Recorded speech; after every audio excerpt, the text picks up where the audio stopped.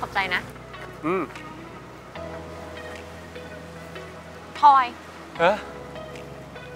เพราะอะไรแกถึงชอบแฟนของแกวะ เออคือ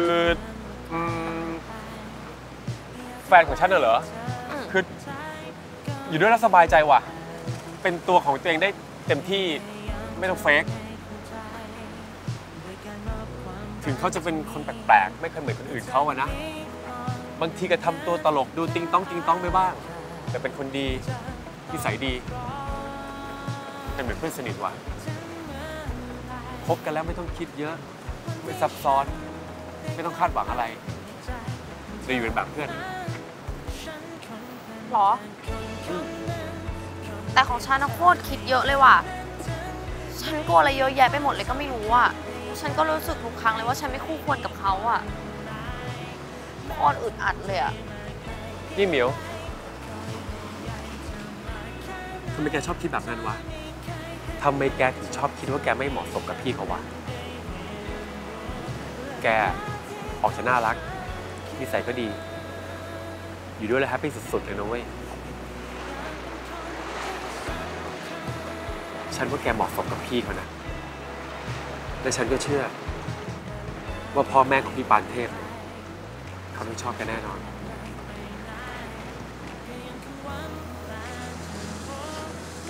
ขอบใจนะยอ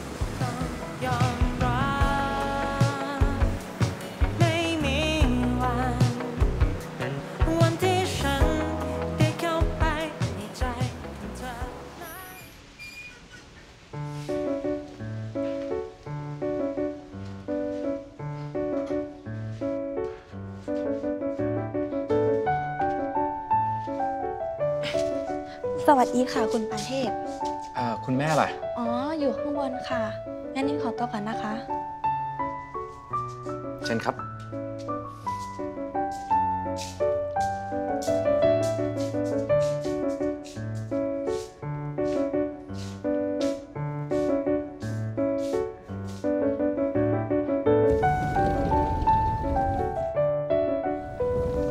สวัสดีค่ะคุณแม่ สวัสดีค่ะอะ นี่ไม่ใช่คุณแม่ครับ คุณเหมียว นี่คือป้าบัวเป็นแม่นมที่เลี้ยงดูผมมาแต่เด็กเลยครับ สวัสดีค่ะแม่นม สวัสดีค่ะ คุณป้าขออนุญาตเป็นในครัวก่อนนะคะ ครับ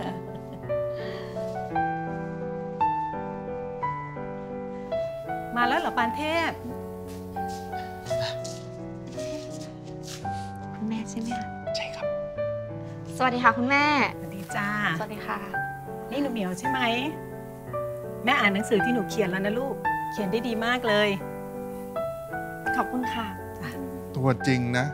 ไม่เห็นจะตุ้ยนุ้ยเหมือนที่เขียนในหนังสือเลย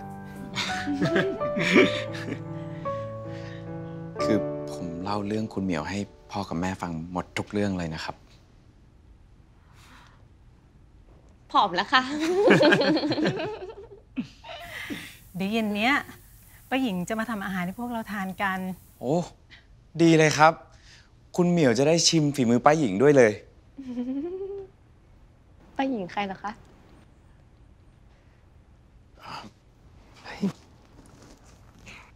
อืม นี่ครับป้าหญิง คุณหญิงเยาวภา นี่เหมียวอ่านคอลัมน์กินอยู่อย่างไทยตั้งแต่เด็กเลยนะคะเนี่ย และตำราอาหารไทยของท่านเนี่ยเหมียวมีทุกเล่มเลยค่ะ คุณปานเทพเป็นหลานเหรอคะ ใช่ครับ หลานแท้ๆเลยเหรอคะ ใช่ครับ แล้วทำไมคนละนามสกุลนะคะ คือป้าหญิงท่านเป็นญาติฝั่งแม่นะครับ ส่วนผมก็เลยใช้นามสกุลเทวพัฒน์ตามพ่อ ตอนเนี้ยป้าหญิงกับญาติญาติๆกำลังใกล้จะถึงแล้วล่ะหนูเหมียว เจอกับป้าหญิงเนี่ยต้องทำใจนิดนึงนะ ค่ะ พอจะทราบอยู่ค่ะ เหมียวดูท่านออกรายการทีวีบ่อยๆอะค่ะอืม